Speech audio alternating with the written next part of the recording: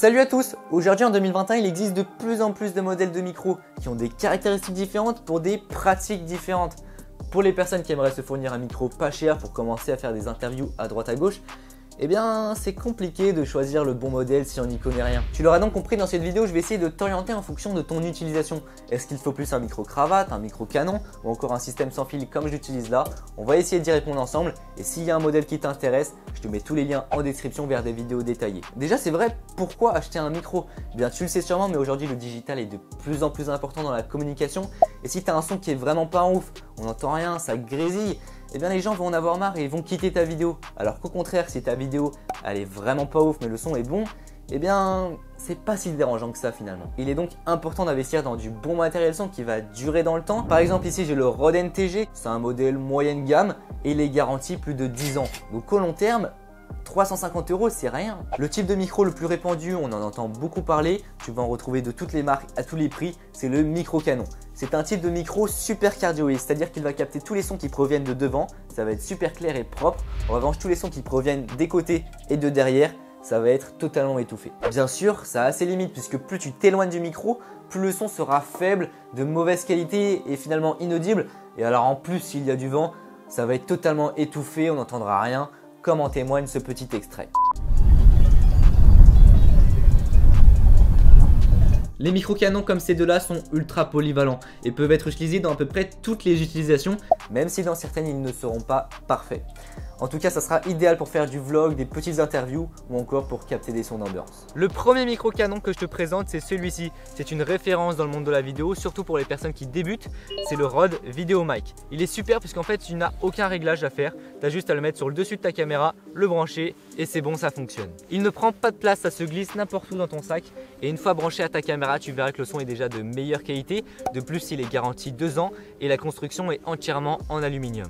Le problème principal avec ce micro, c'est qu'il n'y a aucun réglage, c'est plug and play. Et en évoluant, tu peux te sentir quand même assez limité. Ça nous entraîne donc avec le deuxième choix de micro que je te propose aujourd'hui. Celui-ci, j'ai envie de dire, c'est un petit peu mon bijou. Il s'agit du Rode Video NTG, c'est le tout dernier micro canon de chez Rode. Et avec ça, tu vas vraiment pouvoir tout faire, que ça soit du vlog, des interviews, des sons d'ambiance ou encore de l'enregistrement de voix off. Il est totalement autonome, tu as juste à le mettre sur ta caméra, le brancher et une fois que tu vas allumer ou éteindre ta caméra, il va faire de même. On a une autonomie de dingue sur ce micro, environ 30 heures. Donc pas de problème de batterie. De plus, on a pas mal de réglages pour pouvoir vraiment gérer le son comme tu veux. Il est garanti 10 ans et la construction est encore une fois tout en aluminium. Sans compter toutes ces fonctionnalités, à l'arrière on va retrouver une petite roue qui va nous permettre de régler facilement le gain. Ce micro là il est fiable, je l'ai utilisé dans à peu près toutes les conditions, que ce soit pour de l'enregistrement de voix off, des vlogs, des interviews, sous la pluie ça marche sans problème. Alors par contre, il n'est pas certifié étanche, donc fais attention quand tu l'utilises sous la pluie à couvrir l'arrière du micro. Ces micros là, ils sont super, mais ils n'ont qu'une seule capsule micro. Et si tu veux faire du stéréo, moi je te conseille le Rode Video X. Malheureusement, et c'est comme ça, c'est normal, pour faire du stéréo, il te faut deux capsules micro pour capter le canal droit et le canal gauche. Et donc du coup, bah forcément ça coûte deux fois plus cher. Tout dépend donc de ton utilisation. Les micro canons peuvent rapidement avoir leurs limites lorsqu'il y a du vent ou quand tu t'éloignes de la caméra. Et à ce moment-là, tu en as probablement déjà entendu parler, il va falloir utiliser un micro-cravate. Il en existe de toutes les marques, à tous les prix, et ça ressemble à ça. C'est un câble avec une toute petite capsule micro. Ça va venir se placer en dessous du menton, au niveau du col, et ça va te permettre d'avoir un son très propre et ne pas avoir de problème de vent par exemple. Ça va faire l'affaire quand tu es proche de ta caméra comme là, sauf que quand tu as besoin de te déplacer, encore une fois, tu vas avoir la limite du câble. À ce moment-là, il va falloir choisir un système HF sans fil, c'est-à-dire que tu vas avoir un TX, donc transmetteur, et un RX, récepteur, sur ta caméra. Ça va te permettre de plus avoir la contrainte du câble entre le micro et la caméra. Tu as de la chance puisqu'aujourd'hui en 2021, ce genre de technologies ont beaucoup évolué et aujourd'hui on fait des systèmes très cool et très très compacts. Pas mal de marques ont fait leur propre système HF. Moi aujourd'hui je vais te recommander deux qui sont pour moi les meilleurs sur le marché rapport qualité-prix. Le Rode Wireless Go 2 ou encore le Holyland Lark 150 que j'ai choisi, ce sont tous les deux des modèles avec deux transmetteurs pour un seul récepteur.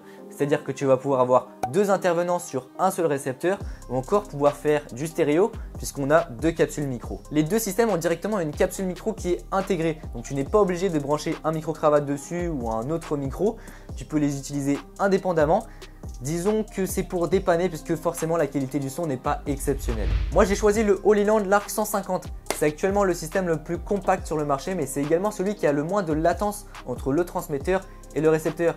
On peut voir là, il n'y a pas de latence, il n'y a pas de décalage entre le son et la vidéo. Économiquement parlant, ça revient moins cher que les Rode Wireless Go 2 puisqu'il est directement fourni avec des micro-cravates et une boîte de rechargement un petit peu comme des AirPods. Encore une fois, c'est un système fiable. Moi, j'ai jamais eu de problème avec. Ça fait deux mois que je l'utilise. Tu as juste à prendre un ou deux transmetteurs, prendre le récepteur, le brancher à ta caméra. Encore une fois, ça s'allume et ça se connecte tout seul.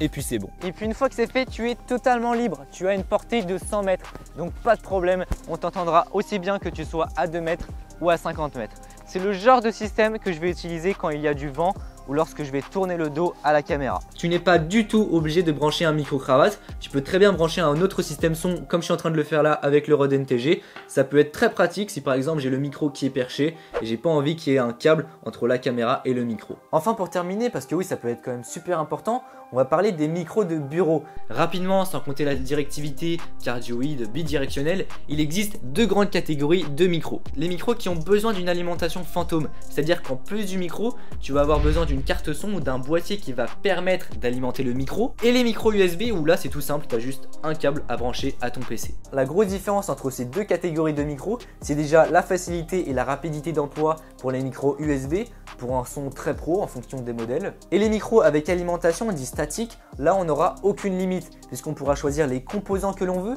que ça soit la capsule micro, la carte son, l'alimentation, on peut tout choisir indépendamment et généralement les micros statiques sont beaucoup plus sensibles, donc c'est idéal pour faire des voix off. Bien sûr, si t'as pas des besoins de voix off particuliers, d'avoir un son ultra quali, ultra pro, et que tu voyages beaucoup, le micro USB c'est l'idéal. Aujourd'hui, si je dois te recommander un modèle de micro USB, c'est le Yeti Nano X. Il est connu dans le domaine et il a plein de fonctionnalités. Sinon, souviens-toi, si tu possèdes le Rode Video NTG, t'as juste à le brancher en USB à ton PC et c'est bon, tu peux faire des voix off. C'est pour ça que j'adore ce micro, tu peux vraiment tout faire. En conclusion, si tu débutes ou pas d'ailleurs, tu as besoin d'un micro pas cher et compact, pars sur le Rode Video Mic, c'est l'idéal, tu n'en seras pas déçu. Si tu voyages beaucoup, tu as besoin d'un seul micro pour tout faire, du vlog, des interviews, de l'enregistrement de voix off, des sons d'ambiance, le Rode Video NTG, c'est pour moi le top. Moi, il me convient parfaitement, mais c'est pas pour autant que je vais l'utiliser dans toutes les utilisations. Par exemple, là, quand je suis en studio, j'utilise que le micro-cravate. Enfin, si tu as besoin de quelque chose de compact, tu as envie d'être mobile ou simplement que tu n'as pas envie d'avoir un câble entre le micro-cravate ou un autre système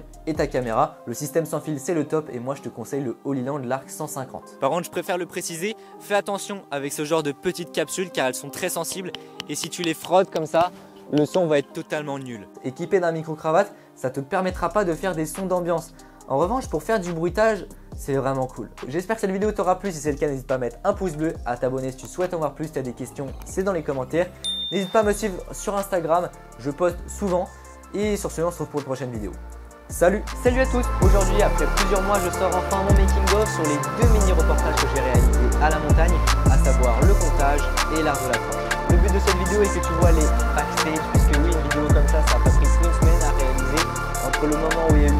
jusqu'à la publication de la vidéo, il y a eu quelques mois. On va donc voir